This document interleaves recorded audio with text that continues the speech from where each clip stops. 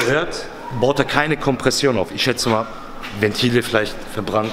Ja, wir haben hier einen schönen Polo, 6N, 1 Liter. Und wir haben für den Wagen sagenhafte 100 Euro bezahlt. Dass ich mal so ein Auto kaufe und dann meine Azubis austoben Nach lasse. dem TÜV hat er Motorschande. Einmal nicht mehr angesprochen.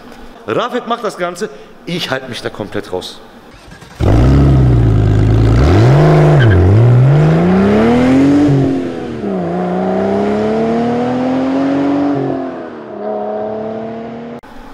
Willkommen bei Kfz Fuzzi, schön, dass ihr eingeschaltet habt. Wie ihr im Titel schon seht, werden wir einen Motorschaden beheben, aber das werde ich nicht machen, das wird der, der hinter der Kamera ist, machen, unser Rafet.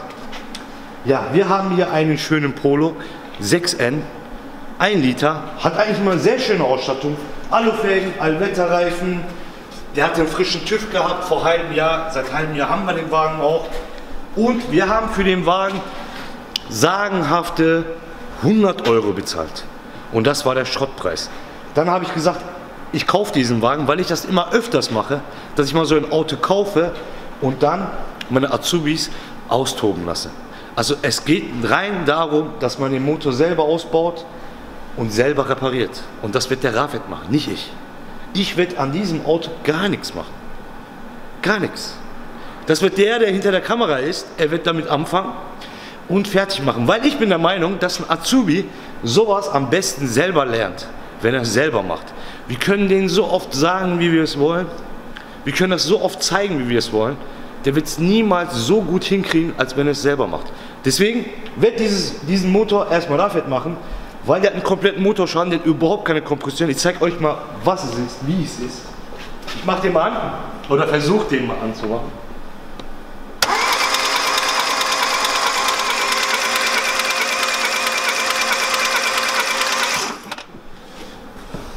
Wie ihr hört, baut er keine Kompression auf. Ich schätze mal, Ventile vielleicht verbrannt. Ich weiß es nicht. Auf jeden Fall ein wirtschaftlicher Totalschaden. Ein wirtschaftlicher Schaden auf jeden Fall. Wir haben natürlich einen Motor besorgt, das habe ich schon seit sechs, sieben Monaten liegt das schon hier. Seit ich den Motor schon habe. Das haben wir auch für kleinen, kleines Geld geholt. Ich glaube 100 Euro habe ich für den Motor bezahlt. Mit, ja, mit Lieferung vielleicht 120 130, weiß ich gar nicht mehr. Weißt du das noch, Rafid? Ja, 120, 130, irgendwie so. Ja, so komplett. Also sprich, die beiden für 250 Euro. Sollen wir so machen? 250 Euro, zeigt man den Wagen, Rafid, der ist so eigentlich nicht schlecht. Hat ein Schiebedach komplett, elektrische Fenster, Allwetterreifen und das Geile war, wo wir den gekauft haben, also Scheibenkötze waren neu, Reifen waren neu und keine Billigreifen, ne? das waren Friedestein-Reifen. Und das Geile war, der hatte frisch TÜV gehabt. Und nach dem TÜV hat er Motorschande. Einmal nicht mehr angesprochen. Ist egal. Wir haben einen neuen Motor. Rafet macht das Ganze. Ich halte mich da komplett raus. Ne? Und ich finde, Rafet kriegt das hin. So, jetzt gehe ich hinter der Kamera und zeige euch mal Rafet. Und er soll mal erklären, wie er damit anfängt. Einverstanden? Einverstanden. Ich bin der Rafet. Ja. Bin im dritten Lehrjahr. Ja. Sag, sag mal eins, Rafet. Ja. Also du, du, also ich muss ja dazu sagen, Rafet kann vieles. Ne? Also wenn es um Verschleißteile-Austausch geht, ist Rafet schon Nummer eins. Ne? Das kann, da kann man schon nichts sagen. Der kann das. Turbotechnik hat er ja viel von mir gelernt. Aber, ja, Motoren aus und einen Monat auch von mir gelernt. Aber, Rafet, hast du schon mal sowas gemacht? Nein, noch nie. Hä? Weißt du, wo, wie du jetzt hier dran gehst? Weißt du das? Nein. Kannst du dir jetzt nicht vorstellen, wie du hier dran gehen kannst? Was du machst, was du tust? Batterie als erstes abklemmen. Oh. Und dann. Ja. Abbau. Ja, wie denn? Du musst ja irgendwie wissen, wie du abbaust. Soll ich dir erstmal einen Tipp geben? Ja. Bau doch erstmal alle Anschlüsse ab. Oder guck mal, ob er einen Sammelstecker hat.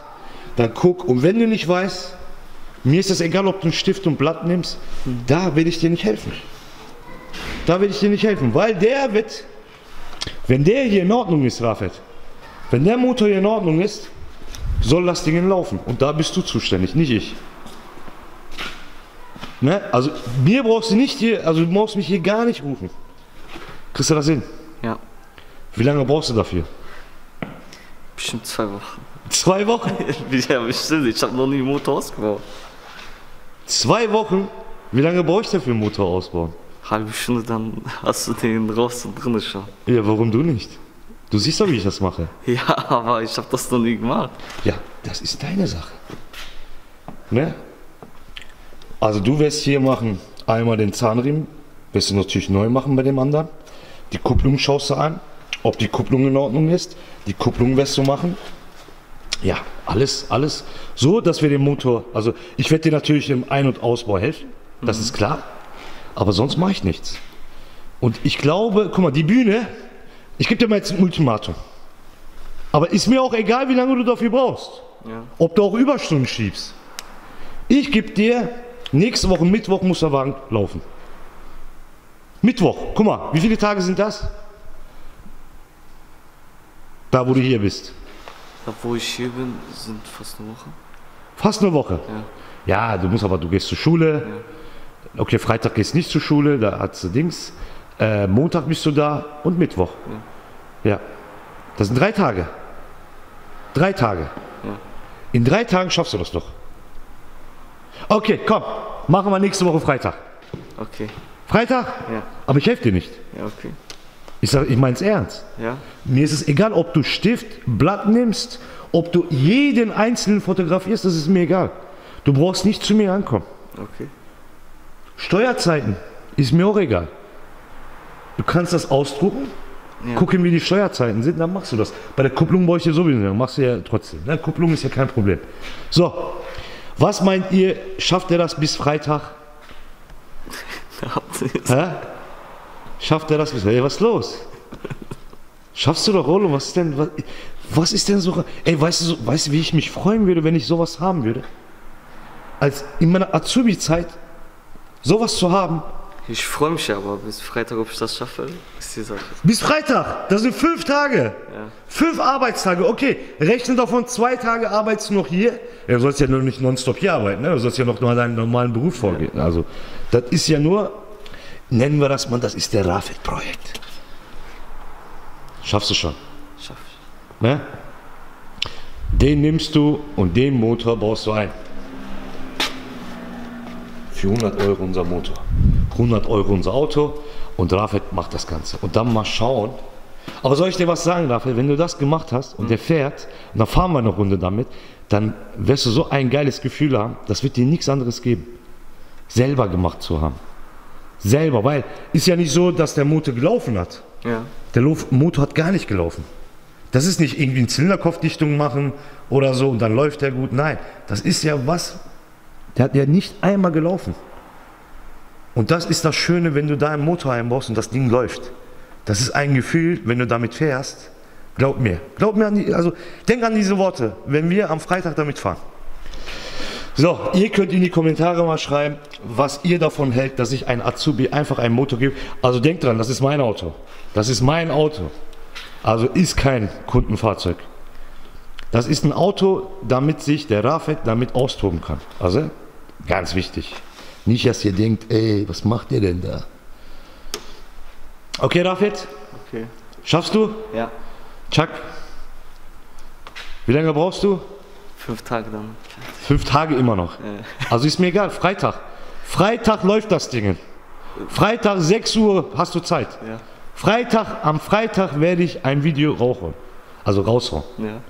Ne? Falls du mal nicht fertig hast, Ja, ja, wir werden das natürlich aufnehmen. Also du fängst ja heute an. Du wirst heute erstmal ein bisschen abbauen und dann machen wir noch ein Video, wie du alles abgebaut hast. Und dann den Zahnriemen und so gucken wir uns den Motor zusammen an, wie der und so ist. Und dann beim Einbauen. Also da werden wir schon ein, zwei, drei Videos vielleicht raushauen. Ne?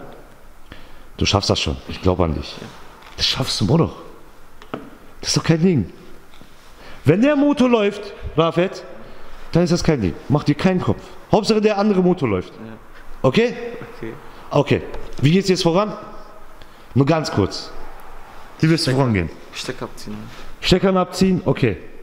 Steckern abziehen, die ganzen Schläuche abziehen, gucken, wo was hinkommt. Sehr, sehr wichtig. Da werde ich dir nicht helfen. Nimm dir ein Blatt, nimm dir einen Stift. Das Ding läuft, ohne dass ich da helfen muss. Und wenn ich helfen muss, Ja. dann ist vorbei. Okay? Okay. Das Ding gehört keinem Kunden. Ja. Damit sollst du einfach mal lernen, selber was abzubauen, um zu wissen, wo was hingehört. Deswegen ist es auch immer sehr, sehr wichtig, damit du mehrere Schachteln hintust. Da sagst du, okay, weil du musst dir vorstellen, du wirst ja dem Motor nichts abbauen. Du kannst den ja komplett so rausnehmen. Was du nur machen musst, natürlich hier Kabel, Schaltgestänge und so, das sollst du alles machen. Aber wenn du irgendwas abbaust, dann sollst du ja auch merken, wie das alles ist. Und dann nicht denken, Yunus Abi hilft dir, weil an dem Projekt helfe ich dir nicht. Das kannst du schön selber machen. Okay? Okay. So, ich glaube an dich. Hade, komm. Mal gucken. Wir sehen uns beim nächsten Video, wenn er es ausgebaut hat. Und dann reden wir nochmal mit Rafet. Und folgt dir nicht auf Insta.